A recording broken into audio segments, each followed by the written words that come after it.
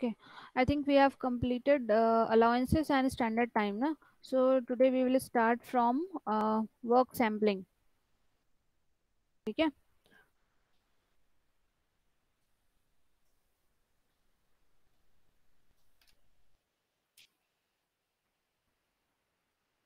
Okay.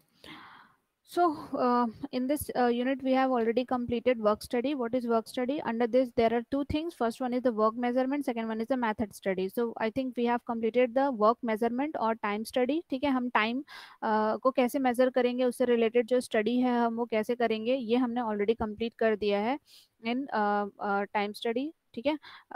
Now we will study the next topic that is method study and छोटा सा topic है हमारा work sampling ठीक है? सो ये दो जो टॉपिक्स हमारे रह गए हैं वो हम यहाँ रीड करेंगे। So here the work work sampling so work sampling is a method which is given by L H L H Tippett ने दिया था ठीक है? ये क्या है? uh, आपके uh, um, जो British cotton industry research board होता है ठीक है? जो ब्रिटेन में था नाइनटीन थर्टी फोर के टाइम जब हमारा क्या आया था इंडस्ट्रियल रिवॉल्यूशन आया था तो कॉटन जो टेक्सटाइल इंडस्ट्री है कॉटन इंडस्ट्री है उसमें जो है रिसर्च के लिए या फिर उसमें हम कॉटन को कितना बेस्ट वे में कॉटन इंडस्ट्री में लेबर को मशीन को टाइम को ठीक है? ये सबको हम लोग यूटिलाइज कर सकें उसके लिए एक मैथड बनाया था that is known as a work sampling ठीक है? सो ये जो method this is given by Ellis Tippett in 1934 for the British Cotton Industry Research Board के लिए and it is a fact finding tool कि actually what is the fact behind any operation कि वो operation कितने देर से हो रहा है क्यों हो रहा है क्या नहीं हो रहा है एक person है जो उसमें काम कर रहा है तो कितने देर तक काम कर रहा है क्या क्या machines work कर रही हैं worker कौन कौन सा process कर रहा है ये सारी चीज़ों को find out करते हैं under work work sampling ठीक है so here is a definition of work sampling that a work sampling is a technique in which statistically competent number of uh, instantaneous observations are taken over a period of a time of a group of machines or a processes or workers and each observation recorded for a particular activity or a delay is a measure of a percentage of time observed by the occurrence क्या बोल रहा है कि इस जो technique है इसमें हम लोग क्या करते हैं स्टेटिस्टिकल टेक्निक यूज़ करते हैं कि हम इंस्टेंटेनियस जो रिज़ल्ट आता है ठीक है ये इंस्टेंटेनियस जो हमारा ऑब्जर्वेशन होता है जो हम किसी भी पर्टिकुलर uh, प्रोसेस में या पर्टिकुलर ग्रुप ऑफ़ मशीन्स में या पर्टिकुलर कोई वर्कर है जो उस उस वर्क को कर रहा है उसके सारे टाइम को हम लोग क्या करते हैं नोट डाउन करते हैं। एंड उनका जो है नोट डाउन करके रिकॉर्डिंग बनाने के बाद उसको हम लोग ऑब्ज़र्व करते हैं कि यहाँ पे हमारा जो प्रोसेस है क्या वो within time frame complete हो जा रहा है? और there is any kind of a delay अगर डिले है तो हम उसको क्या करते हैं? मेजर करते हैं as a percentage of time जो हमारा जो हमने क्या किया डिफाइन किया, उसके साथ हम लोग कैलकुलेट करने की कोशिश करते हैं कि डिले क्यों आ रहा है? और अगर डिले आ रहा है तो उसको हम लोग रिमूव कर, कैसे कर सकते हैं? ठीक है? So this is the work sampling and work sampling can be use in three ways या फिर तीन उसके एप्लीकेशन है three main application are there first one is activity and delay sampling so activity and delay sampling में हम लोग क्या करते हैं? बाय द नेम सजेस्ट हम एक्टिविटी को मेजर करते हैं एंड जो भी हमारा डिले हो होता है मशीन्स में या वर्कर्स कुछ डीले कर रहे होते हैं, उन सबको क्या करते हैं? हम लोग मेजर करते हैं, ठीक है? अंडर द वर्क सैम्पलिंग जैसे कि एग्ज़ाम्पल के लिए यू कैन टेक कि uh, कोई ऐसा वर्कर है जिसको वर्क असाइन किया गया है बट वो वर्क नहीं कर रहा है आइडल बैठा हुआ है तो वो क्यों बैठा हुआ है? And what is the problem behind that कि मशीन्स प्रॉपर वर्क नहीं कर रही इसलिए वो आइडल बैठा है या डिले हो रहा है या फिर वो अपने अपने खुद के बिहेवियर की वजह से डिले हो रहा है? एक्टिविटी हो रही है तो कितने टाइम फ्रेम में हो रही है? एंड वो डिले तो नहीं है ये सब चीज़ों को मेजर करता है।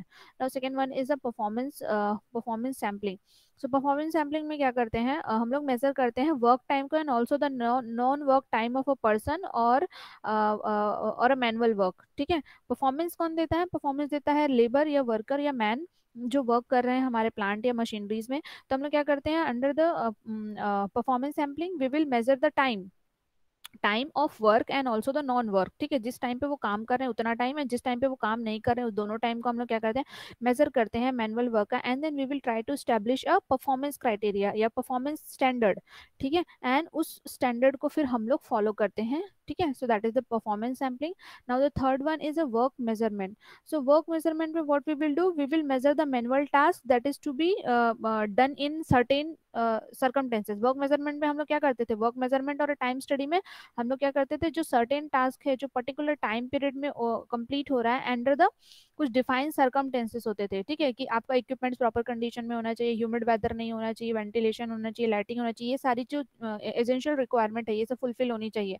आफ्टर दैट क्या करते थे? We will measure the time and we will try to establish the standard time for each and every operation of uh, plant ठीक है? So that is the work measurement सो ये तीन तीन जो है ये इसके मेन एप्लीकेशन है वर्क सैम्पलिंग के। Okay.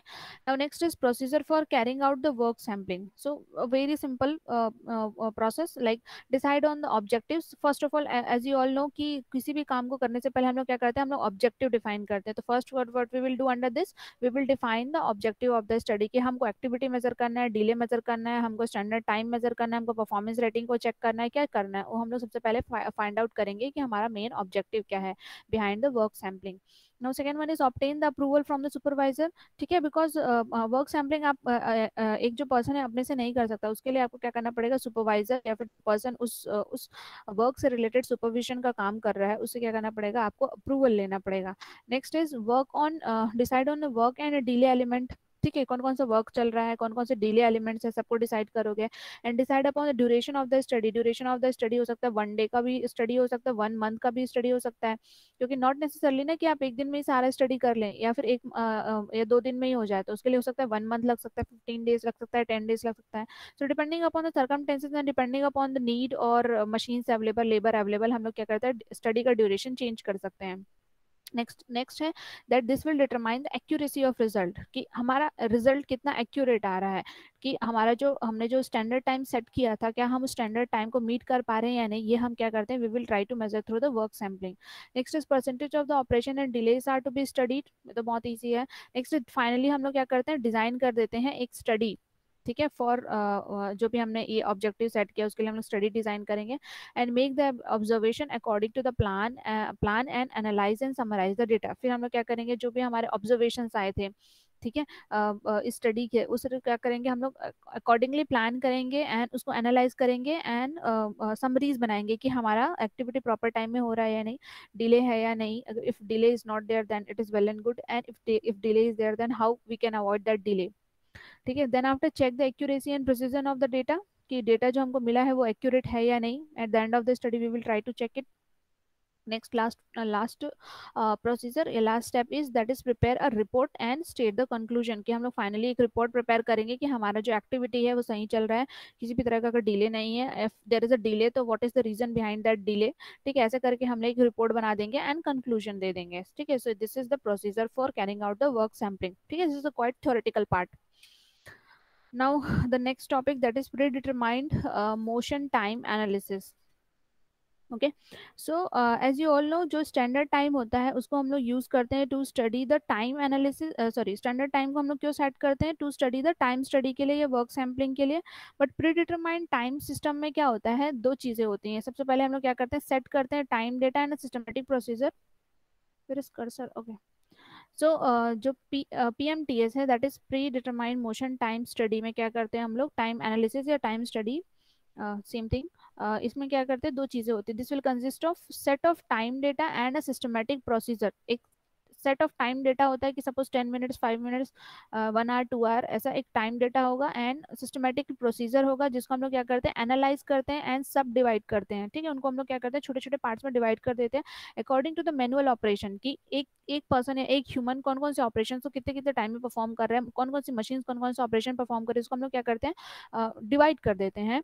इनटू मोशन कि कौन कौन सा वर्क हो रहा है कौन सा बॉडीली मोशन है and other elements of human performance ठीक है? कौन सा मोशन में है कौन सा बॉडी मोशन पे मीन्स ह्यूमन वर्क कर रहा है एंड अदर जो भी एलिमेंट्स है ह्यूमन परफॉर्मेंस में उसको हम लोग डिवाइड कर देते हैं एंड असाइन करते हैं ईच को अप्रोप्रिएट टाइम वैल्यू ठीक है? प्री डिटरमाइंड में हम लोग प्रायरली ये टाइम असाइन कर देंगे and according to this system हमारा क्या होता है कि hmm, जो टोटल टाइम रिक्वायर्ड होता है to perform a particular operation वो क्या होता है? टोटल होता है ये सारे ऑपरेशंस uh, का ठीक है? कॉमन सी बात है जो टोटल होगा वो क्या होगा? टोटल होगा मोशन जो परफॉर्म हो रहा है बॉडी मोशन जो परफॉर्म हो रहा है एंड ह्यूमन अदर ह्यूमन जो परफॉर्मेंस है इन सब का टोटल जो होता है हमारा पीएमटीएस के इक्वल होता है ठीक है? ठीक है तो जो भी डेटा होता है, हमारा पीएमटीएस को हम लोग क्या करते हैं टेबुलेटेड फॉर्म में रिकॉर्ड करते हैं for each and every individual and each and every position और ईच एंड एवरी मशीन्स के लिए एंड देन हमको उसमें जो भी फिर कैलकुलेशन करना है, वो फिर हम कैलकुलेशन करते हैं according to the rules and regulation and जो भी फॉर्मूला होता है on the basis of that ठीक है? So by arranging the basic motion and aggregate associated time time and existing task can be analysed and a proposed operations can be timed without actually performing it ठीक है? Without actually perform किए बगैर ही हम लोग क्या कर सकते क्या कर सकते हैं? पीएमटीएस में हम टाइम uh, क्या क्या करते हैं? एनालाइज करके टाइम डिवाइड कर सकते हैं for each and every operation and each and every worker ठीक है?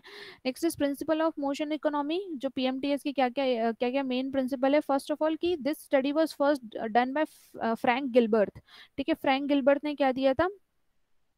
मेथड स्टडी भी दिया है ठीक है? तो फ्रैंक गिलबर्थ फ़र्स्ट थे जिन्होंने क्या किया था? Motion predetermine motion time analysis को स्टडी किया था and he is also the founder of motion study motion study भी इन्होंने ही इन्वेंट किया है एंड uh, ये जो है जिसको फर्दर रीअरेंज किया गया था एंड एम्पलीफाइड किया गया था मीन्स एम्पलीफाइड मीन्स उसमें जो फ़र्स्ट uh, जो था डेवलप किया गया था फ्रैंक गिलबर्थ के द्वारा uh, उन्होंने डेवलप किया था। उसमें कुछ प्रॉब्लम्स थे तो उन प्रॉब्लम्स रिमूव किया गया था बाय बर्नेस मेयर्ड एंड कुछ अदर साइंटिस्ट थे इन्होंने सब मिलके फिर उसको क्या किया रिफॉर्म किया ठीक है? सो प्रिंसिपल क्या है कि there are number of principle concerning the economy of a movement which has been developed as a result of experience and which forms a basis for the development of improve method of work क्या बोल रहा है कि बहुत सारे ऐसे principles हैं economy of movement या फिर पी एम टी एस के लिए जो डेवलप्ड हुए as a result of experience क्योंकि हमको कोई भी चीज़ें एक बार में समझ में नहीं आती है, एक बार में नहीं हो पाती। हम क्या करते हैं उसको बार बार परफॉर्म करते हैं तो we will learn more that is learning by doing का प्रोसेस यहाँ एप्लीकेबल होता है and which forms the basis for development of particular method of work. ठीक है? So there are the three principles under जो आपका पीएमटीएस है वो एप्लीकेबल होता है. First one is use of human body that is body movement ठीक है, जो ह्यूमन या मैनुअल लेबर जो है, कितना वर्क हो रहा है on the basis of that कुछ प्रिंसिपल्स फॉलो होते हैं। Next is arrangement of work space work place means आपके वर्क प्लेस में आपका लेआउट कैसा है, आपकी मशीनरीज कहाँ रखे हुए हैं, आपके टूल्स कैसे डिज़ाइन है, कैसा वर्क फ्लो चल रहा है।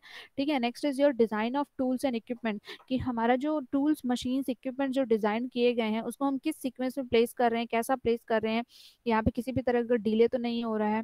ठीक है, कोई दो ऑपरेशन एक दूसरे में इंटरफेयर तो नहीं कर रहे हैं, ठीक है ड्यूरिंग द प्रोसेस ठीक है process of conversion of raw material into the finished good सो ये सब चीज़ों को ध्यान रखना, दे जो होते हैं तीन मेन प्रिंसिपल है that is use of human body first one second one is your arrangement of work place third one is your design of tools and equipments ठीक है? So this is all about your time study ठीक है? ये सारी चीज़ें जो है आपके टाइम स्टडी में आती हैं. नेक्स्ट है आपका topic that is method study next है आपका topic that is method study so method study क्या होता है? It is this is the systematic recording एक minute just a second time study में हम लोग क्या करते हैं? हम लोग टाइम को मेजर करते हैं ठीक है? टाइम को रिकॉर्ड करते हैं. बट इन मेथड स्टडी हम लोग क्या करते हैं? As the name suggest method study means method या प्रोसीजर जो है uh, किसी काम को uh, या किसी वर्क को परफॉर्म करने का उसको हम लोग मेजर करते हैं ठीक है? It is also known as a work system design या फिर वर्क डिज़ाइन भी बोलते हैं। क्या बोलते हैं इसको? वर्क सिस्टम डिज़ाइन और वर्क डिज़ाइन ठीक है? ये भी बोलते हैं। एंड द मेन पर्पस जो होता है हमारा मेथड स्टडी का is to find out the best और most effective means of achieving any process और एनी फ़ंक्शंस को हम लोग कितना बेस्ट और मोस्ट इकोनॉमिकल मेथड में कर सकते हैं। ये इसका मेन एम होता है, ठीक है? So a definition of method study which is given by British Standard Institution that is it is a systematic recording and a critical examination of existing examination of existing and a proposed way of doing the work so uh, as a means of developing and applying the easier and a most effective method and method and reducing the cost यही बोल रहा है कि जो हमारे existing uh, जो ways हैं किसी भी वर्क को करने का या फिर proposed way है किसी भी वर्क को करने का उसको हम लोग क्या करते हैं डेवलप करते हैं एनालाइज करते हैं सो so दैट हम लोग उसको मोस्ट इफ़ेक्टिव वे या फिर बेस्ट वे में कर सकें और हमारा जो कॉस्ट है वो रिड्यूस हो ठीक है? So method study will involve breaking down an operation into its component element and their systematic analysis जैसे मैंने बोला कि एक जो मेथड है या या टास्क है उसको हम लोग ऐसे ही एनालाइज uh, या ब्रेक एनालाइज uh, करके हम लोग उसका best possible way find out नहीं कर सकते हैं। We first of all we need to what we need to we need to we need to divide we need to divide the task ठीक है into smaller part ठीक है? Smaller parts या smaller what we can say components small components हम लोग क्या करना पड़ेगा, उसको डिवाइड करना पड़ेगा। Then after we can able to analyse this task कि कौन से जो प्रोसेस है वो बेटर वर्क कर रहा है, कौन से प्रोसेस में बेटर जो वर्क है वो नहीं हो रहा है। ठीक है? सो आपको बेटर परफॉर्म करने के लिए तीन टाइप के एटीट्यूड्स की ज़रूरत है। First of all that is the desire and the determination to produce the produce the result कि आपके जो एच आर ये ह्यूमन जो वर्क कर रहे हैं, उनके पास डिज़ायर होना चाहिए एंड डिटर्मिनेशन होना चाहिए कि वो रिज़ल्ट बेटर रिज़ल्ट दे सके and ability to achieve the result ठीक है? सेकेंड वन इज़ उनके पास एबिलिटी है कि वो अच्छा रिज़ल्ट अचीव कर सकें and next one is to understand the human factors involve human factors क्या क्या है? मेंटल फैक्टर मेंटल फैक्टर ठीक है? आपका है फ़िज़िकल फैक्टर ठीक है? And other health related issues ठीक है? फैमिली का प्रॉब्लम ठीक है? वर्क प्रेशर स्ट्रेस ये सारे प्रॉब्लम्स को कंसीडर करना है ठीक है? नेक्स्ट इज़ मेथड स्टडी के क्या क्या uh, uh, मतलब स्कोप है या क्या हम कहाँ कहाँ यूटिलाइज कर सकते हैं? ठीक है? So method study is not necessarily being utilised in आपका जो है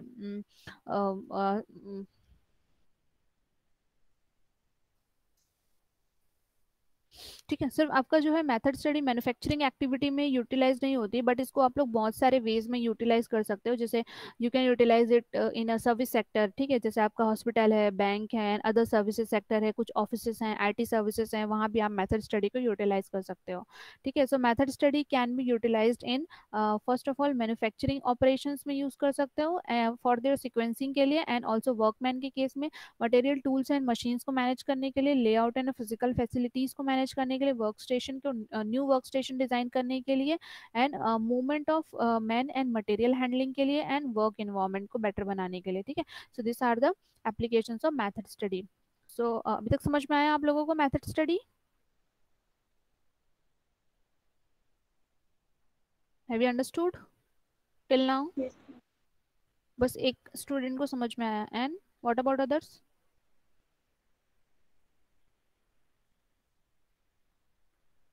और कहाँ है? बाकी लोग सो रहे हैं? मैम समझ में आया? क्या पढ़ाया मैंने? व्हाट इज़ बताओ what is method study what is method study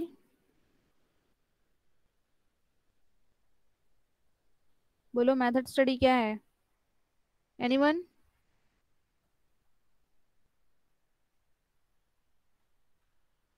okay okay. सोच के रखो, मैं लास्ट में पूछूँगी। Next is objectives of method study क्या क्या ऑब्जेक्टिव है? So as you all know कि मेन ऑब्जेक्टिव क्या है मेथड स्टडी का? Is to find the best और better way of doing any process या एनी एनी प्रोसीजर ठीक है? कोई भी काम हो रहा है या वर्क हो रहा है, उसका जो बेस्ट वे वे है टू वर्क ठीक है? एक वर्क हो रहा है या कोई प्रोसेस चल रहा है, उसका क्या हम लोग क्या करते हैं? Best possible way find out करते हैं, ठीक है? उसको करने का।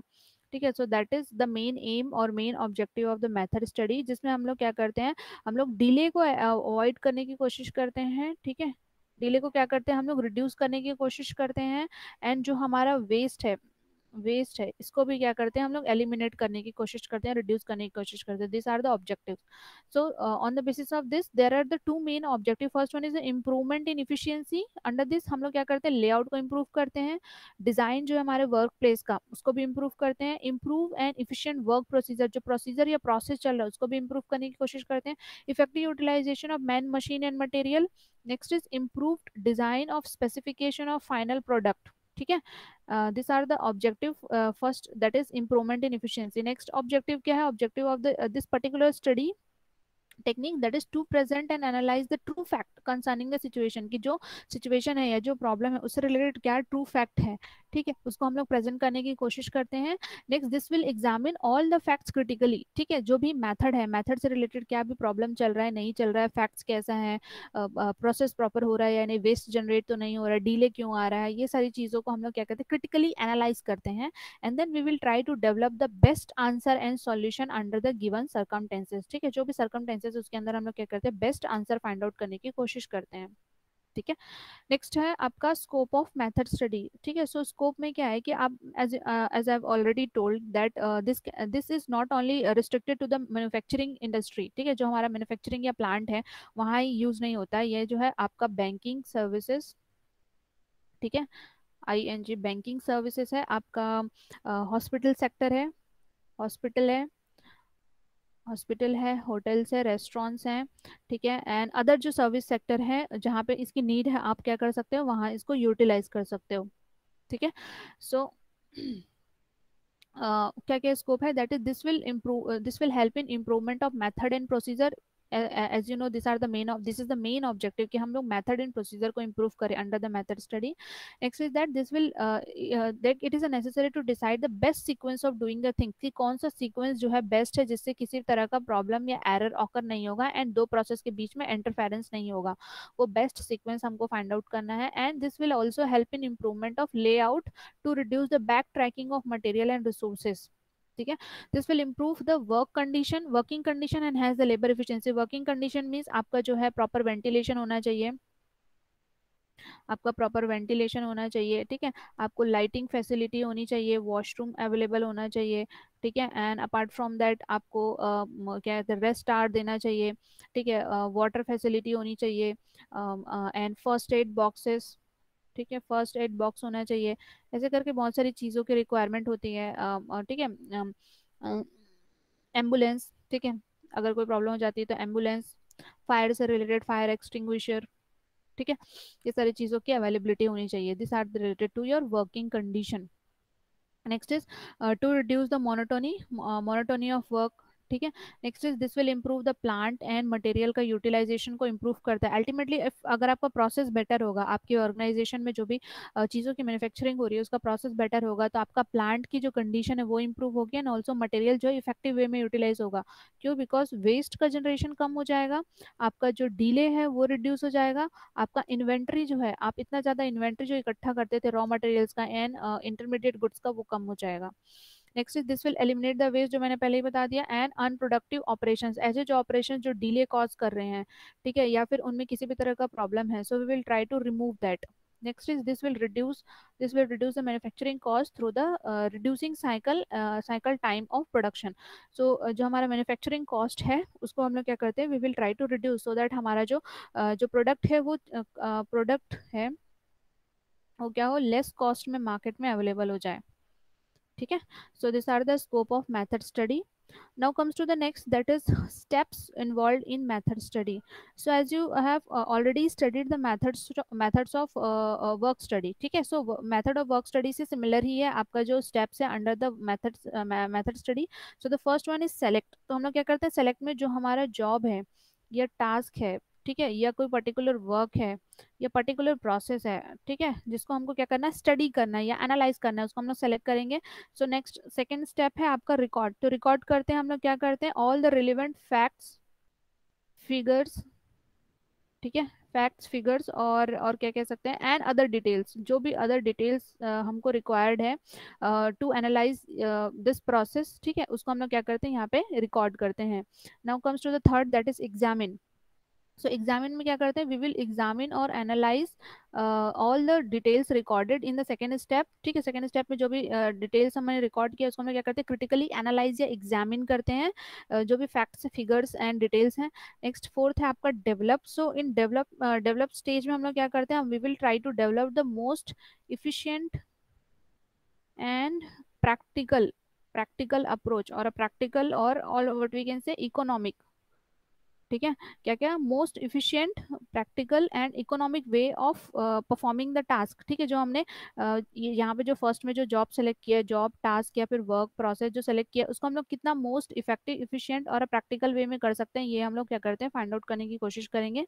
Now comes to the next that is fifth point define so define में हम लोग क्या करते हैं? अभी तक हमने क्या किया? एनालाइज किया डेवलप किया अब हम लोग क्या करेंगे? उसको डिफाइन करके इंस्टॉल करेंगे। ठीक है, यहाँ क्या करेंगे हम लोग?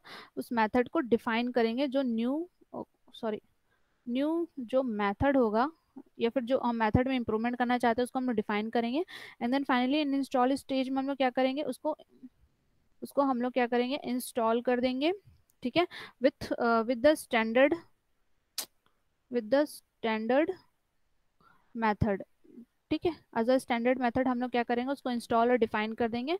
Now finally we will try to maintain that standard practice ठीक है? इस प्रैक्टिस को हम लोग ट्राई करेंगे कि हम उसको मेंटेन कर सकें। उसमें भी फिर फिर से किसी भी तरह का वेस्ट जनरेट नहीं होना चाहिए, किसी भी तरीके का डिले प्रोड्यूस नहीं होना चाहिए, किसी भी तरीके का प्रॉब्लम नहीं आना चाहिए। ठीक है? So this are the steps of method study so have you understood समझ में आ गया? समझ में आया अभी तक? यस और नो सो रहे हो सारे के सारे? यस मैम ठीक है। Now the next topic that is selecting a job और a work to be study ठीक है जो हम यहाँ फ़र्स्ट जो स्टेप था हमारा ये first step that is select ठीक है तो सेलेक्ट स्टेज में हम कौन सा जॉब या वर्क को सेलेक्ट करेंगे स्टडी के लिए? इसके अंडर जो है थ्री तीन तरीके होते हैं हमको आ, उस जॉब को सेलेक्ट करने का। ठीक है? क्या तीन तरीका है? फ़र्स्ट वन है इकोनॉमिक एनालिसिस या economic consideration second one is technical consideration third one is human consideration so economic consideration में हम लोग क्या करते हैं? We will try to find out find out those methods जो क्या करता है इन्वॉल्व करता है less cost and less time ठीक है कॉस्ट और टाइम मेथड स्टडी में दो चीज़ इंपॉर्टेंट है. First one is the cost second one is the time because अगर सफिशियंट रिटर्न नहीं मिलेगा आपको किसी भी चीज़ में तो that is the waste of time effort and energy and also job जो है रिपीटेटिव नेचर का होना चाहिए which will require the great deal of labour ठीक है, जिसमें बहुत ज़्यादा लेबर इंटेंसिव जॉब होना चाहिए. Manpower can also be study ठीक है, आप यहाँ पे क्या कर सकते हैं? मैन पावर के मैथड को भी स्टडी कर सकते हैं. And operation generating the great deal of wastage और a poor utilisation of resources can also require the study ठीक है चीज़ों के लिए ज़रूरत है मेथड स्टडी में हमको सबसे पहले मेन चीज़ ये है कि कॉस्ट को और टाइम को हमको रिड्यूस करना है, ठीक है? दो चीज़ों को रिड्यूस करना है, इसके लिए हम लोग क्या करेंगे? We will try to find out those method जिनमें प्रॉब्लम है एंड जिनमें रिटर्न नहीं आ रहा है तो हमको स्टडी करेंगे। नेक्स्ट हमारा जॉब जो है रिपीटेटिव नेचर का होना चाहिए एंड लेबर इंटेंसिव जॉब होना चाहिए, जिसमें बहुत लेबर की ज़रूरत है, उनको सेलेक्ट कर सकते हैं हम लोग स्टडी के लिए। नेक्स्ट ऑपरेशन ऐसा जिसमें वेस्टेज बहुत जनरेट होता है वेस्टेज बहुत हाई अमाउंट में जनरेट हो रहा है एंड यूटिलाइजेशन प्रॉपर नहीं है आपके रिसोर्सेज का। ठीक है? उस स्टडी को भी हम सेलेक्ट कर सकते हैं under the economic consideration next is your technical consideration तो टेक्निकल कंसिडरेशन में क्या करते हैं? हम लोग ऐसी टेक्नोलॉजी को फाइंड आउट करते हैं या स्टडी करते हैं जो क्या होता है? चेंज होता है बाय द टाइम ठीक है? क्विकली चेंज हो जाता है। उनको हम लोग क्या करते हैं? यूज़ करेंगे। And there is also also there में ऑल्सो भी necessary to get the specialise knowledge ठीक है? आपको क्या करना है? स्पेशलाइज नॉलेज लेना है।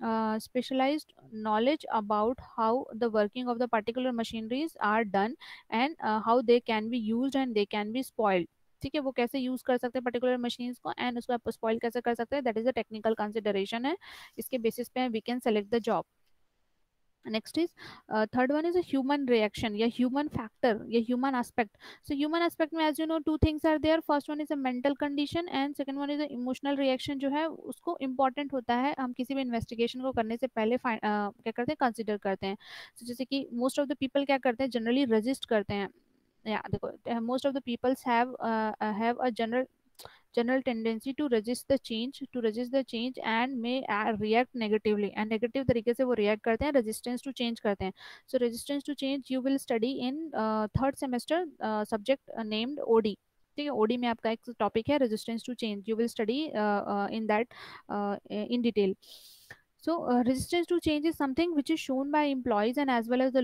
uh, uh, employees भी show करते हैं and also laborers भी show करते हैं। किसी भी न्यू टेक्नोलॉजी या क्यों न्यू प्रोसेस को जब हम इंट्रोड्यूस करते हैं अपने ऑर्गेनाइजेशन में ठीक है? एंड uh, uh, हम लोग क्या करना है? अगर हमको किसी भी तरह का रेजिस्टेंस आ रहा है ये ह्यूमन रिएक्शंस हो रहे हैं किसी भी चीज़ से रिलेटेड या किसी प्रोसेस से रिलेटेड हम क्या करना है? हमको हेल्प लेना है। हेल्प एंड सपोर्ट लेना है from the trade union trade union and representative of the workers की हमने जो भी प्रोसेस लगाया है वो प्रोसेस जो है बेटर है हमारे ऑर्गेनाइजेशन को हेल्प करेगा to increase to increase the productivity to increase the efficiency of labour and organisation ऐसा उनको हमको समझाना है उनको उनसे सपोर्ट लेना है ठीक है? सो so, अभी तक समझ में आया? समझ में आया?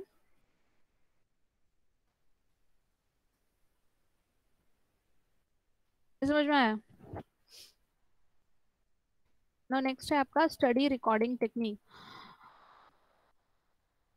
no one is here all are sleeping no ma'am तो हाँ नहीं क्यों नहीं आता?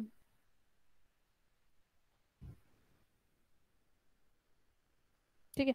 सो नेक्स्ट है आपका स्टडी रिकॉर्डिंग टेक्निक जो आप स्टडी कर रहे हैं या किसी भी तरीके का जो है आप एनालिसिस कर रहे हैं उसको क्या करना पड़ता है? हमको रिकॉर्ड करना पड़ता है। सो so, रिकॉर्डिंग के लिए हम लोग क्या करते हैं? फ़र्स्ट ऑफ़ ऑल यादर हम लोग लिख सकते हैं।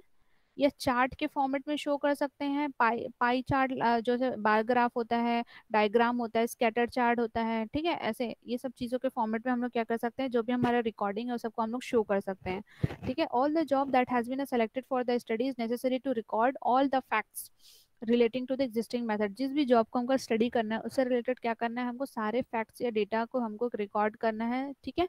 एंड कोई भी स्टडी तभी सक्सेसफुल होता है जब हम क्या करते हैं? जो भी फैक्ट होते हैं उनको एक्यूरेसी के साथ हम लोग क्या करें? रिकॉर्ड करें एंड उसको एनालाइज करें ठीक है? जिसमें जो uh, जो भी एक्यूरेसी के साथ हमारा जो डेटा रिकॉर्ड रहेगा तो हमारा जो उसका एनालिसिस क्या होगा? वो किसी भी तरीके का उसमें कन्फ्यूज़न नहीं होगा किसी भी तरह का फॉल्स इंटरप्रिटेशन नहीं होगा। ठीक है? So the use of method for recording is to write down all the facts however it is difficult difficult when the exact and minutest details are required जब क्या होता है, हम लिख के तो रिकॉर्ड कर सकते हैं बट हमको जब क्या होता है एग्जैक्ट टाइमिंग या एग्जैक्ट किसी भी छोटी से छोटी डिटेल की रिक्वायरमेंट होती है तो जो प्रोसेस है हमारा रिकॉर्डिंग का वो क्या होता है कॉम्प्लिकेटेड होता है।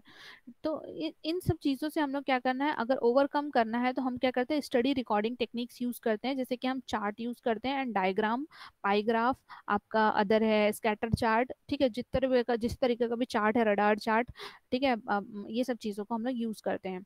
ठीक है सो डायग्राम्स में क्या क्या है diagrams will indicate the movement movement movement more clearly than chart जो डायग्राम्स होते हैं इस तरह के जो डायग्राम्स होते हैं वो चार्ट uh, के कंपैरिजन में मोर क्लियर वे दिखाते हैं कि कैसा जो है मैन मशीन मटेरियल ये सब का फ्लो हो रहा है।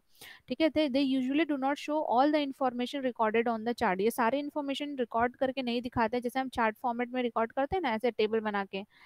या फ़र्स्ट प्रोसेस में ये चल रहा है सेकेंड प्रोसेस में ये चल रहा है ये सब चार्ट फॉर्मेट है। बट फ्लो चार्ट जैसे एग्ज़ाम्पल का डायग्राम का एग्ज़ाम्पल में हम लोग ले सकते हैं। फ्लो चार्ट होता है हमारा स्ट्रिंग डायग्राम होता है साइक्लिक uh, ग्राफ होता है क्रोनोग्राफ क्लोनोग्राफ होता है ट्रेवल चार्ट होता है। ठीक है तो दिस आर द डायग्राम्स जो हम यूज़ करते हैं फॉर स्टडी रिकॉर्डिंग टेक्निक्स ठीक है? नाउ नेक्स्ट इज़ रिकॉर्डिंग को सिम्बलाइज uh, uh, कर सकते हैं हम लोग सिम्बल्स के फॉर्म में रिप्रेजेंट कर सकते हैं। ज़रूरी नहीं हम लोग हर बार ऑपरेशन के लिए ऑपरेशन ही लिखे लिखें ठीक है? By the word that is O P E R S I T I on ठीक है? ऐसा पूरा ऑपरेशन का वर्ड नहीं लिखते हम क्या करते हैं? ओ सिंपली ऐसा एक ब्लॉक बना देते हैं इसमें वन या टू लिख देते हैं कि this is the first operation ठीक है? In the same way inspection के लिए हम लोग ऐसा रेक्टेंगुलर बॉक्स यूज़ करते हैं। ट्रांसपोर्ट के लिए ऐसा एरो सिंबल यूज़ करते हैं। डिले अगर ये टेम्प्रेरी डिले है या टेम्प्रेरी थोड़ी देर के लिए हमारा जो व्हाट वी कैन से जो भी हमारा प्रोडक्ट है इंटरमीडिएट प्रोडक्ट है, वो थोड़ी देर के लिए स्टोर हो रहा है या डिले हो रहा है तो ऐसा डी का साइन बनेगा। ठीक है? डी एंड नेक्स्ट है आपका परमानेंट अगर हमको किसी भी चीज़ को स्टोर करना है इन्वेंट्री में तो इसके लिए इन्वर्टेड ट्रायंगल बनता है। ठीक है? So this are the operation sorry symbols for various kind of operation in a plant ठीक है? ऑपरेशन मीन्स फ़र्स्ट प्रोसेस चल रहा है वन लिख देंगे, फिर सेकेंड प्रोसेस चल रहा है टू लिख देंगे, फिर क्या हो रहा है? उसका इंस्पेक्शन हो रहा है तो ऐसा ट्राइंगल बना देंगे, फिर क्या हो रहा है? ये ट्रांसपोर्ट होके अच्छा ये सब में ऐसे एरो बनता जाएगा। ठीक है? ट्रांसपोर्ट हो रहा है तो ये सब के लिए एरो सिंबल है। फिर क्या हो रहा है उसको अगर हम थोड़ी देर के लिए स्टोर कर रहे हैं तो डी लिखेंगे। फिर क्या हो रहा है वो थर्ड स्टेप में जा रहा है, थर्ड ऑपरेशन में जा रहा है। फिर फोर्थ ऑपरेशन में जा रहा है। फिर फाइनल प्रोडक्ट प्रोड्यूस हो गया तो हम क्या करेंगे, उसको स्टोर कर लेंगे। तो ऐसा इन्वर्टेड ट्राइंगल बना देंगे। ऐसे तरीके से आपका जो है रिकॉर्डिंग टेक्निक्स का चार्ट बनता है। समझ में आया कैसा बनता है फ्लो चार्ट यस और नो बोलो भाई।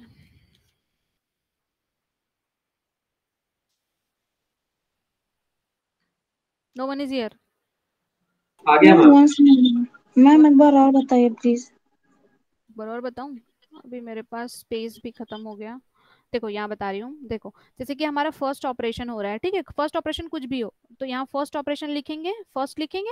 ऐसा डायग्राम बनाएँगे तो? जैसे यहाँ से एंट्री हो रही है ना आपको रॉ मटेरियल की तो ये फ़र्स्ट ऑपरेशन में गया यहाँ से एरो बनाएँगे। एरो देखो एरो किसके लिए था? ट्रांसपोर्ट के लिए था। इधर साइड देखो लेफ़्ट साइड में दिख रहा है? यहाँ पे ट्रांसपोर्ट कर्सर दिख रहा है?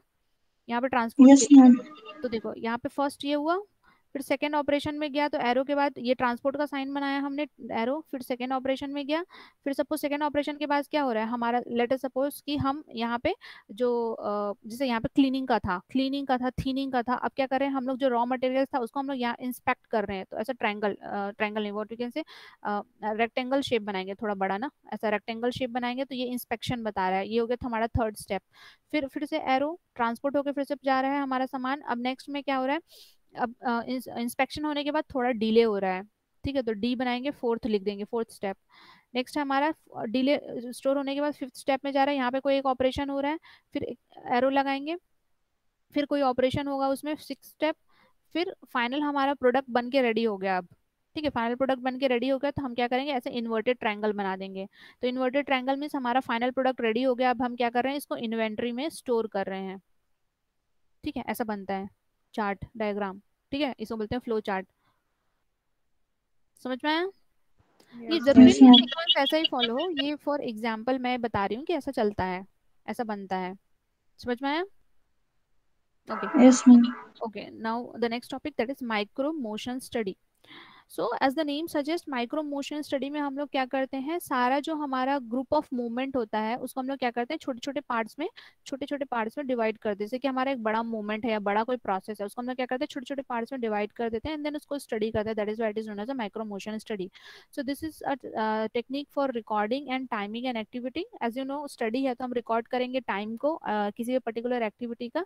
And it is a setup for technique intended to divide the human activities in a group of movement और a micro motion called a therbligs and which is suggested by Frank B Gilbert जैसे मैंने पहले बताया कि जो हमारा whole जो operation है, बड़ी जो एक्टिविटी उसको हम लोग क्या करते हैं? छोटी छोटी कंपोनेंट एक्टिविटी में डिवाइड कर देते हैं।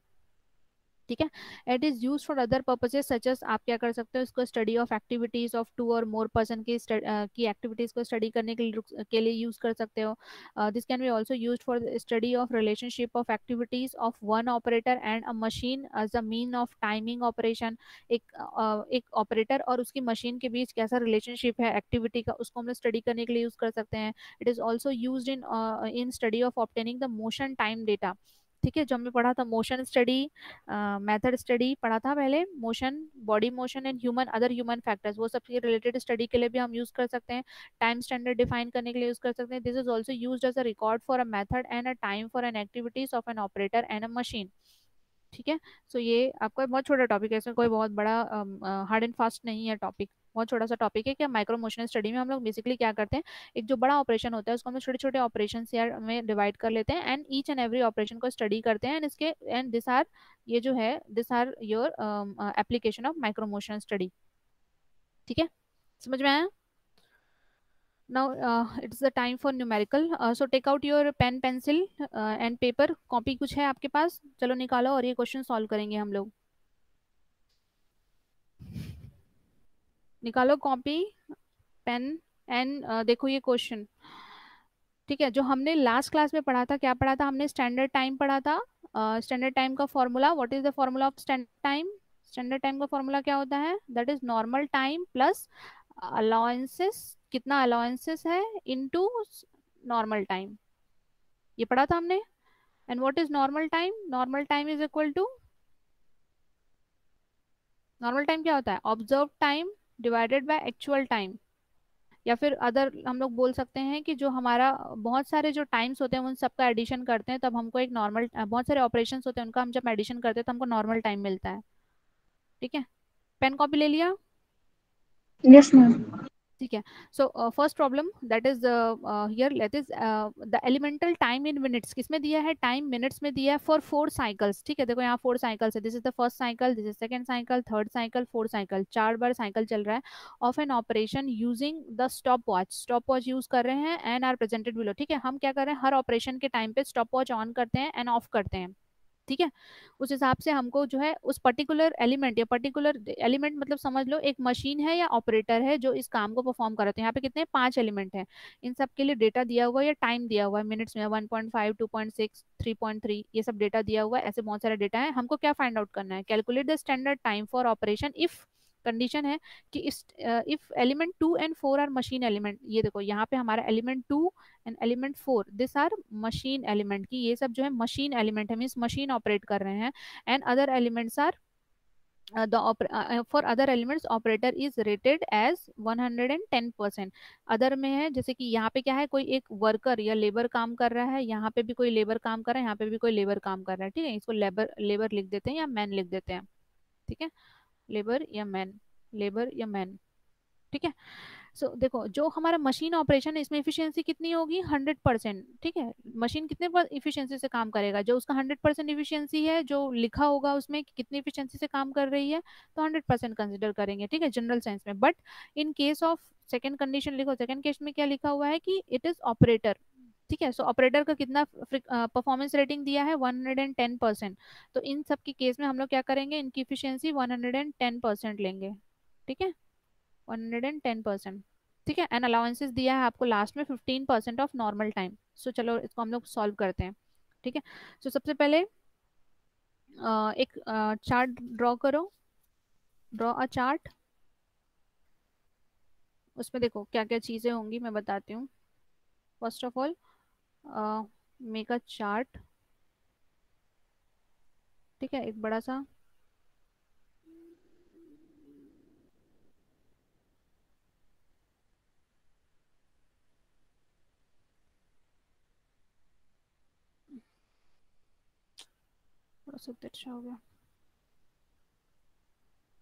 ठीक है सो फ़र्स्ट में आपका एलिमेंट लिखो पूरा मैं शॉर्ट में लिखूँगी। फ़र्स्ट आएगा आपका एलिमेंट का कॉलम ठीक है एलिमेंट नंबर लिख रहे हो? Yes ma'am cycle cycle time ठीक है साइकिल टाइम किसमें दिया हुआ है? आपके मिनट्स में दिया हुआ है। ठीक है एंड कितने साइकिल्स हैं वो भी यहाँ पे एक बनेगा। ठीक है तो कितने साइकिल है आपके? First cycle second cycle third cycle fourth cycle. ठीक है, चार साइकिल दिए हुए थे हमारे तो ये साइकिल टाइम फिनिश हो गया। कितना बनाया आपने? नेक्स्ट लिखो, average cycle average cycle. Average cycle किसमें आएगा? ये भी मिनट्स में आएगा। ओहो, एवरेज साइकिल किसमें आएगा? ये भी मिनट्स में आएगा। ठीक है, एक ब्लॉक एवरेज साइकिल का हो गया। Next is your rating factor. Rating दिया हुआ है हमको ठीक है एक रेटिंग आ गया। नाउ लास्ट जो कॉलम होगा वो आपका होगा normal time N T normal time is equal to कितना होगा आपका? फॉर्मूला में average time into rating factor into rating factor यहाँ तक बन गया सबका? यस मैम ओके चलो फिर डेटा फिल करो। साइकिल टाइम सब फिल करो, कितना कितना साइकिल टाइम दिया हुआ है। एक्चुअल जो साइकिल टाइम हमारे क्वेश्चन में दिया हुआ है। किसी ने क्वेश्चन का स्क्रीनशॉट लिया है क्या? थोड़ा ऊपर नीचे हो जा रहा है, समझ जाओगे ना? क्योंकि मैं फ़र्स्ट टाइम ये जो राइटिंग पैड है यूज़ कर रही हूँ। तो थोड़ा सा, ठीक है? सो so, देखो फ़र्स्ट एलिमेंट यहाँ हम फ़र्स्ट एलिमेंट का डिटेल लिखेंगे। फ़र्स्ट एलिमेंट में कितना साइकिल टाइम दिया हुआ था? फ़र्स्ट 1.5 पॉइंट पहले जल्दी जल्दी नोट डाउन करो। यहाँ पे सिर्फ़ क्वेश्चन का हम लोग डेटा नोट डाउन करेंगे ठीक है? देखो ये जो डेटा है ठीक है? दिख रहा है यहाँ पे? ये ये सारे डेटा ये सब डेटा पहले सबसे पहले नोट डाउन करना है एज इट इज़ ठीक है? सो फ़र्स्ट हो गया सेकेंड हो गया थर्ड फोर्थ अच्छा एक और बनाना पड़ेगा। फिफ्थ तो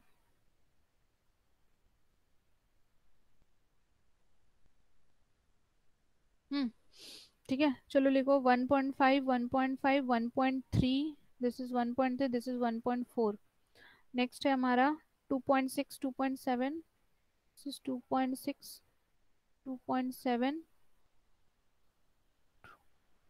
2.4 2.6 next is 3.3 3.2 3.4 3.4 next है आपका 1.2 1.2 1.1 एंड अगेन 1.2 नेक्स्ट है आपका फिफ्थ एलिमेंट के लिए कितना? 0.51 0.51 0.52 एंड लास्ट है आपका 0.4 ठीक है? इतना तो क्वेश्चन में दिया हुआ है एज इट इज़ देखो ये क्वेश्चन में दिया हुआ है आपका यहाँ तक फोर नाइन लिखा है फोर भी ले सकते हो यू कैन टेक लाइक ये वाला।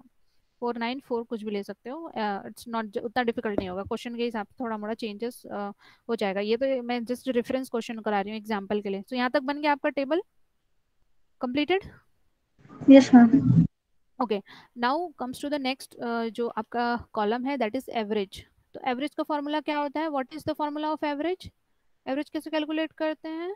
किसी भी चीज़ का एवरेज क्या होता है? Sum of observation sum sum of total observation and divide by number of observation good ठीक है? Sum of observation divided by total number of observation तो कैलकुलेट करो सम कितना हो रहा है टोटल ऑब्जर्वेशन का एक एक करके ना। हर एलिमेंट के लिए अलग अलग कैलकुलेट करना। First of all calculate for element number one one के लिए कैलकुलेट करो क्या होगा आपका? क्या होगा? 1.5 ये सब रफ में करना है ना? वन अच्छा मैं इसको यही करूँ या आ, अलग से करूँ? समझ जाओगे ना? कौन कौन सा रफ में करना है? आपको सिर्फ़ टेबल जो है ये मेन बनेगा। आपका जो ये कैलकुलेट करना ये रफ वर्क है या फिर आप नीचे शो भी कर सकते हो, ऐसा कोई बहुत बड़ी प्रॉब्लम की बात नहीं है। तो यहाँ पे कैलकुलेट करो 1.5 प्लस अगेन 1.5 प्लस 1.3 प्लस 1.4 ठीक है? देखो यहाँ पे चार चार टाइम दिख रहा है, चार cycle time 1.5 this is 1.5 this 1.3 1.4 ये सब कितने हुए? चार हुए। तो total of observation sum of observation हो गया। Now total number of observation कितने फोर इनको कैलकुलेट करो, कितना आ रहा है? एवरेज टाइम देखो इतना आ रहा है क्या? वन पॉइंट ज़ीरो पॉइंट कैसे आएगा? One point four two five होगा ना? देखो ये फ़र्स्ट फ़र्स्ट वाली मैंने कैलकुलेट किया नीचे वाली। किसका नीचे वाला? जो मैं बोल रही हूँ वो कैलकुलेट करो। okay. 1.5 plus 1.5 plus 1.3 plus 1.4 divided by 4 ये आएगा। अरे सॉरी यहाँ पे नहीं। यहाँ आएगा। ये तो नीचे वाली ऐड करनी है ना? 1.425 यहाँ आएगा। ठीक है? मैम ये साइकिल नंबर है ये जो लिखा है ना वन टू थ्री फोर ये वाले कॉलम में ये साइकिल नंबर है one two three four cycle number है। इसको कैलकुलेट नहीं करना है आपको यहाँ से कैलकुलेट करना है। एलिमेंट कहाँ से स्टार्ट हो रहा है? यहाँ से ना? यहाँ से स्टार्ट हो रहा है यहाँ से यहाँ से कैलकुलेट करना है। ये हो गया one point four two five ऐसी सबके लिए कैलकुलेट करो कितना कितना आ रहा है बताते जाओ मुझे। सेकेंड एलिमेंट के लिए कितना आ रहा है? Two point five seven five next कितना आ रहा है? Three point three point three two five ठीक है? नेक्स्ट है आपका आ रहा है one point one seven five next है आपका zero point five zero five ठीक है? थोड़ा वेरिएशन हो सकता है अकॉर्डिंग टू कैलकुलेटर जो वैल्यूज़ पुट करते हैं नॉट नेसेसरली कि यही सेम आए बस मैंने जस्ट रेफरेंस के लिए लिख दिया है जो बुक में आया हुआ है ठीक है? क्योंकि मेरे पास यहाँ कैलकुलेटर नहीं है मैं कैलकुलेट नहीं कर रही हूँ ठीक है? यहाँ तक आ रहा है सबकी values yes ma'am okay now comes to the question देखो क्वेश्चन में मैंने क्या समझाया था कि unit sorry element number two and element number four is a machine element तो मशीन एलिमेंट क्या होता है? मशीन जो है हंड्रेड परसेंट इफिशियंसी से वर्क करता है। ठीक है? सो हंड्रेड परसेंट इफिशियंसी से वर्क कर रहा है तो लिखो सेकेंड नंबर कहाँ है? यहाँ लिखो this is the machine element लिखो मशीन एलिमेंट हंड्रेड परसेंट यहाँ लिखो सेकेंड में फोर्थ में लिखो, यहाँ पे भी लिखो this is the machine element hundred one zero hundred percent. ठीक है? लिखा टू एंड फोर में? लिखा? यस मैम ओके नेक्स्ट देखो फिर से क्वेश्चन में चलो। क्वेश्चन में क्या लिखा है? सेकंड कंडीशन लिखा है that other elements the operator is rated at 110 percent ठीक है? सो so, uh, अभी देखो अदर अदर क्या है? सारे ऑपरेटर्स हैं तो इनकी इफिशियंसी कितनी दी हुई है? 110 परसेंट रेटिंग या इफिशियंसी यहाँ लिखो 110 परसेंट यहाँ लिखो 110 परसेंट समझ में आया कैसे लिखी हूँ मैं? यस मैम नाउ अभी क्या कैलकुलेट करना है हमको? नेक्स्ट कॉलम में देखो normal time N T N T is equal to क्या फॉर्मूला है? एवरेज टाइम इनटू रेटिंग ठीक है? Rating average time into rating. तो अभी देखो इस इस केस में आप कैलकुलेट करोगे फ़र्स्ट एलिमेंट के केस में तो क्या होगा, आपका एन टी वन लिख रही हूँ मैं। N T for first element कितना होगा एन टी वन? कितना आ रहा है आपका? एवरेज कितना आ रहा है? देखो, एवरेज कितना है यहाँ पे? One point four two five. यहाँ लिखो 1.425 इनटू, रेटिंग कितना है? 110 परसेंट में दिया हुआ है। तो कैसे लिखोगे उसको? 110 परसेंट की जगह नीचे 100 इतना जानते हो ना कैलकुलेशन? समझ में आता है इतना? अगर Yes, ma'am. 110 परसेंट है तो परसेंट के लिए क्या लिखते हैं हम लोग? नीचे 100 लिखते हैं। अब इसको कैलकुलेट करो कितना आ रहा है?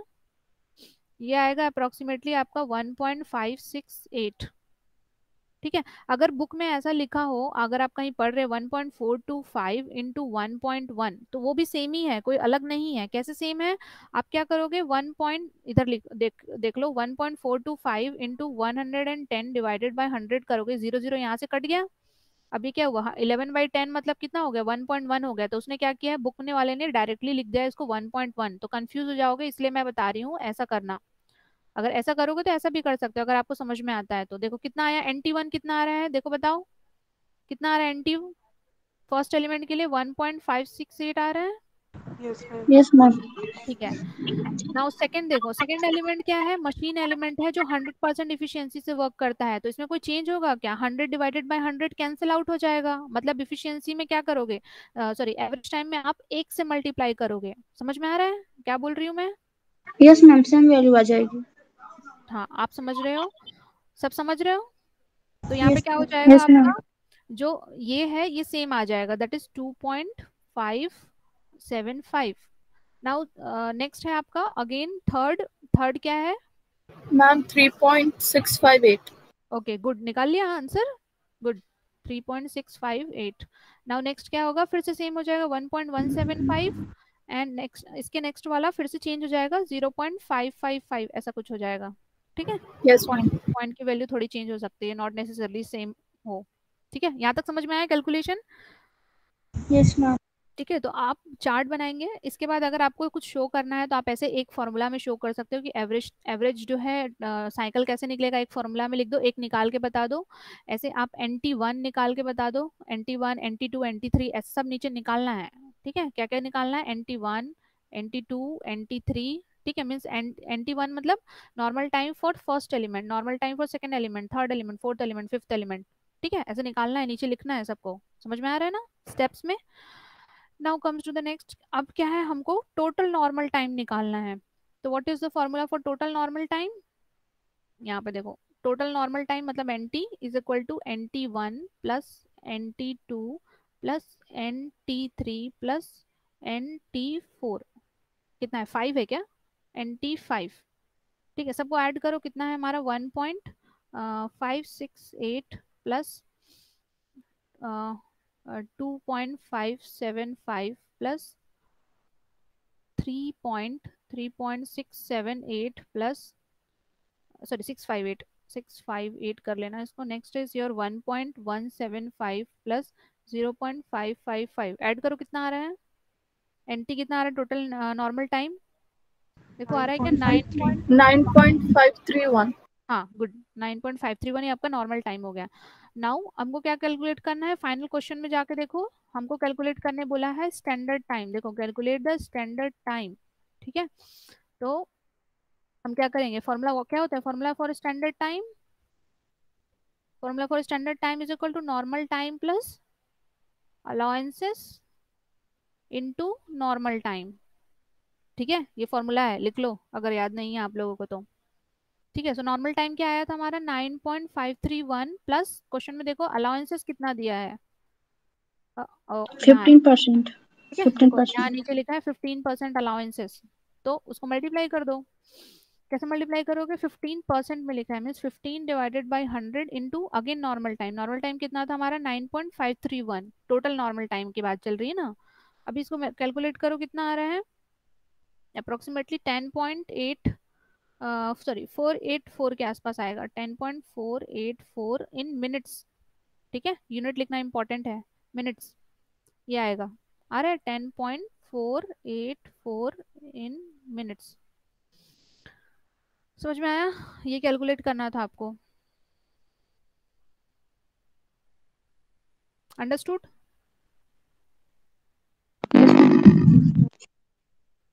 हम्म चले नेक्स्ट क्वेश्चन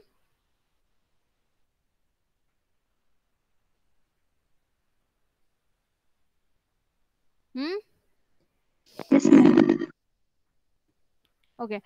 अब देखो सेकंड प्रॉब्लम में क्या बोल रहा है? That is following table shows the time study data the time shown on a continuous watch continuous watch reading in a minutes वहाँ क्या कर रहे थे हम लोग? स्टॉप वॉच को स्टॉप कर रहे थे बार बार देखो बट यहाँ पे हम स्टॉप वॉच को स्टॉप नहीं कर रहे हैं। यहाँ क्या लिखा है? That there is a continuous watch reading in minutes ठीक है अगर आप एक बार जो ज़ीरो पॉइंट ज़ीरो ज़ीरो से आप अपना वॉच स्टार्ट कर रहे हैं तो वो कंटिन्यू रिकॉर्ड कर रहा है।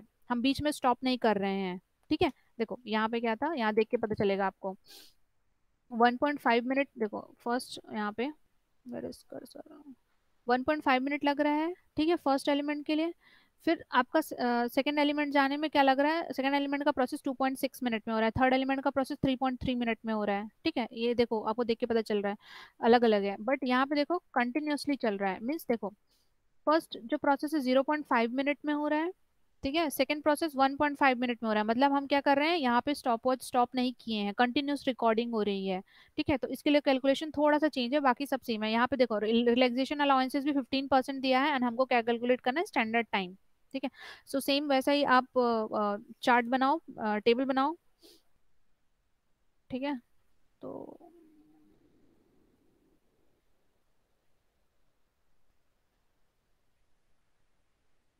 जो टेबल में डेटा दिया हुआ है, उस हिसाब से बनता है ना? ऐसा ज़रूरी नहीं हर बार कि आप अपने मन से कोई चीज़ें बना लें। ठीक है क्या क्या दिया हुआ है? सीरियल नंबर दिया हुआ है फ़र्स्ट में तो आप यहाँ पे फ़र्स्ट लिखोगे सीरियल नंबर ठीक है, एक ऐसा बना लो।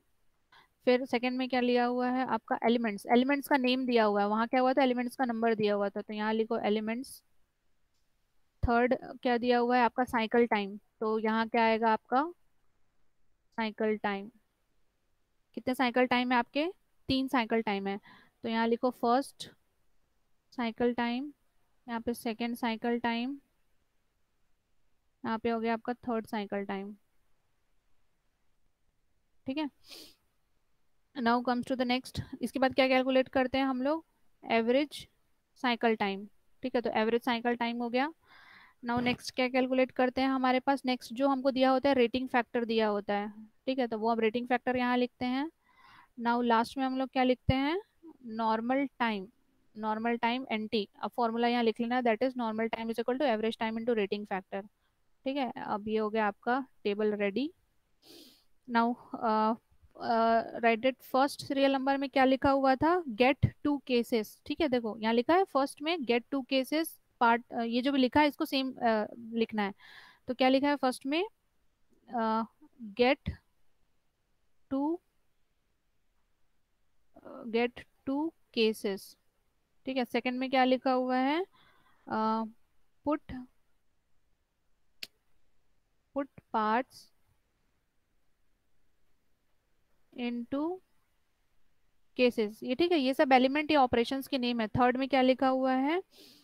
Clamp to parts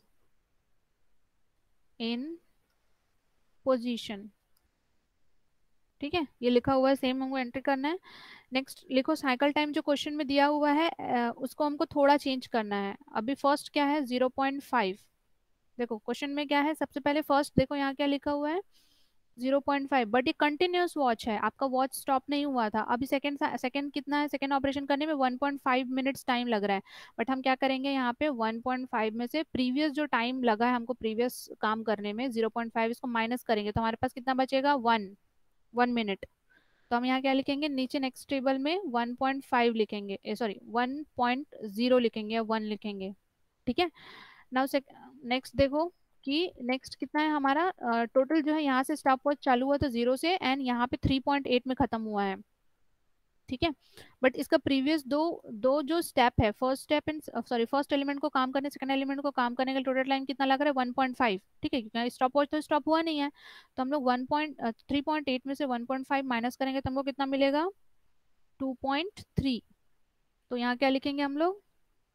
2.3 समझ में आया कैसे क्या लिख रही हूँ मैं? साइकिल टाइम हाँ चलो लिखो सबके लिए साइकिल टाइम कितना कितना आ रहा है? उसके लिए आएगा 0.4 एज इट इज़ क्वेश्चन में था।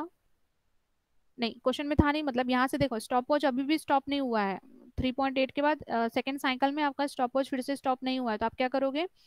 4.2 में से 3.8 माइनस करोगे। तो कितना आएगा आपका? कैलकुलेट करो 0.4 ठीक है, ऐसे आएगा। अच्छा आप लोगों ने क्वेश्चन लिखा है नहीं, चलो पहले कैलकुलेट करो, फिर मुझे बताना कितना कितना आ रहा है। क्विकली कैलकुलेट करके लिखो अपनी कॉपी में।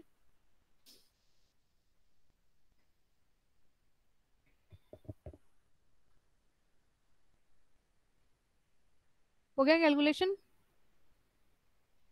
डन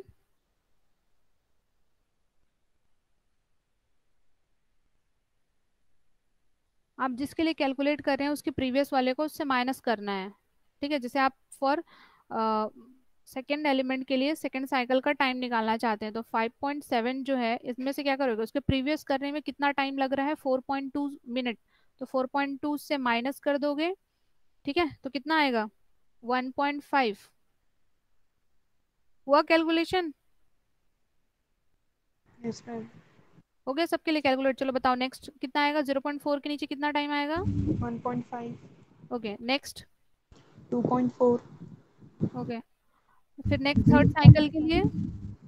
0.5 ओके नेक्स्ट साइकिल के लिए? 1.3 ओके नेक्स्ट साइकिल के लिए? 2.7 good now uh, calculate the average time kya tha formula for average cycle time sum of observation divided by number of observations so kitna aayega iske liye 0.466 theek hai calculate and next आपका 1.266 next आएगा आपका 2 2.466 2.466 देखो ये आ रहा है या नहीं? आया? Average cycle time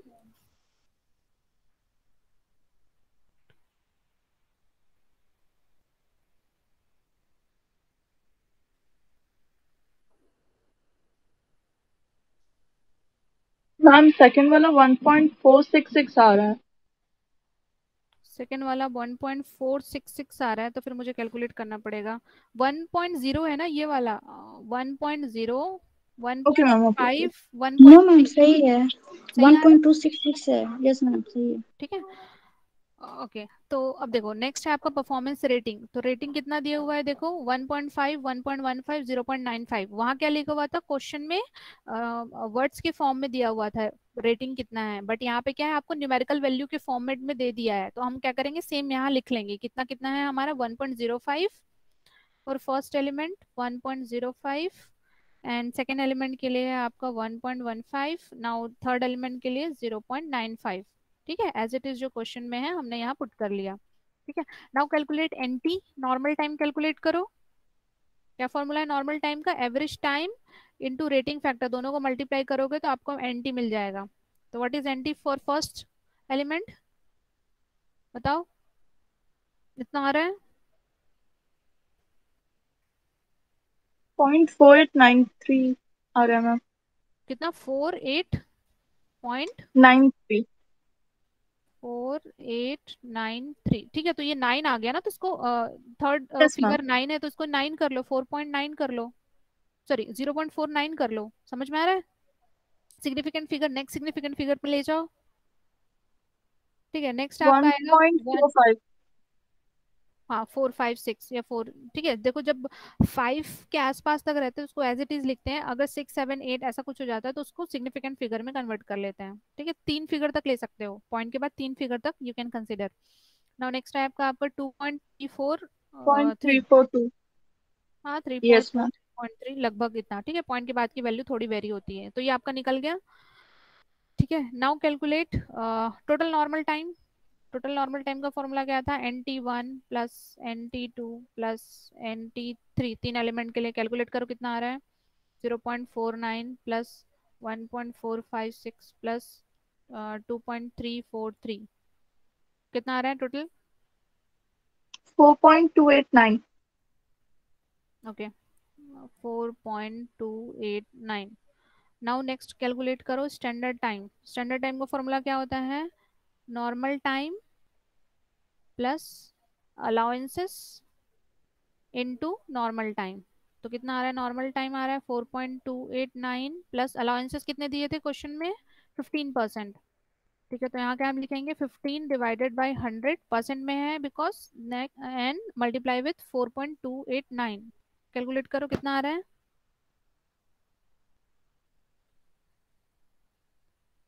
Is it it four point nine three two के आसपास आ रहा है क्या?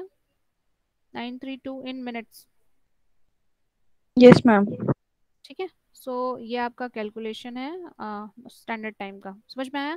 देखो एक अल्टरनेट मेथड uh, uh, है इसमें अल्टरनेट मेथड नहीं एक अल्टरनेट फार्मूला लिखा हुआ है स्टैंडर्ड टाइम के लिए. Standard time is equal to normal time one plus allowances ठीक है ऐसे भी कई जगह लिखा होगा ठीक है सो so, इसमें कोई ज़्यादा डिफरेंस नहीं है आपको क्या कर रहा है जो normal time plus allowances into normal time था तो वहाँ से क्या लिया यहाँ से नॉर्मल टाइम यहाँ से नॉर्मल टाइम कॉमन निकाल लिया तो एन बाहर आ गया यहाँ क्या बचा वन प्लस अलाउंसेस ठीक है तो इस केस में आपका अलाउंसेस कितने आ रहे थे fifteen percent and normal time कितना था four point two eight nine तो यहाँ पे क्या लिख सकते हैं four point two four point two eight nine, one plus bracket में अलाउंसेस कितने थे? फिफ्टीन परसेंट मतलब इसको लिख सकते हैं ज़ीरो पॉइंट वन फाइव लिख सकते हो ऐसा?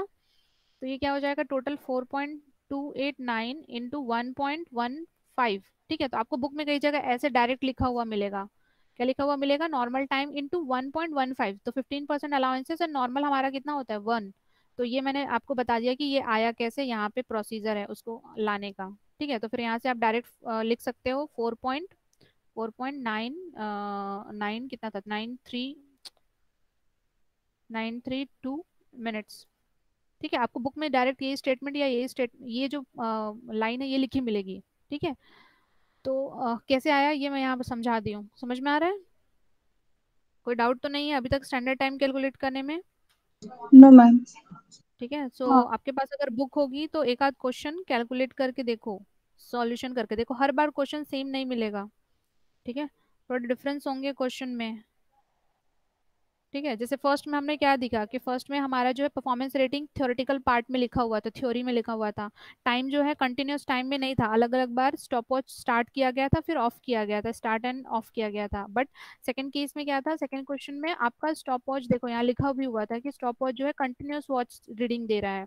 ठीक है, यहाँ पे स्टॉप नहीं किया गया। इसको देख के आपको पता चल जाएगा। देखो, ये कंटिन्यूस है 3.8 के बाद 4.2 है, फिर 8.1 के बाद 8.6 है मतलब ये कंटिन्यूस स्टॉप वॉच है। बट फ़र्स्ट केस में देखो फ़र्स्ट केस में सब में चेंजेस हो रहे हैं। 1.5 फिर 0.51 में यहाँ खत्म हो रहा है, फिर यहाँ पे अगेन 1.5 से स्टार्ट हो रहा है। सबके लिए अलग अलग टाइम लिखा हुआ है। ठीक है, ऐसे क्वेश्चन आते हैं आपके।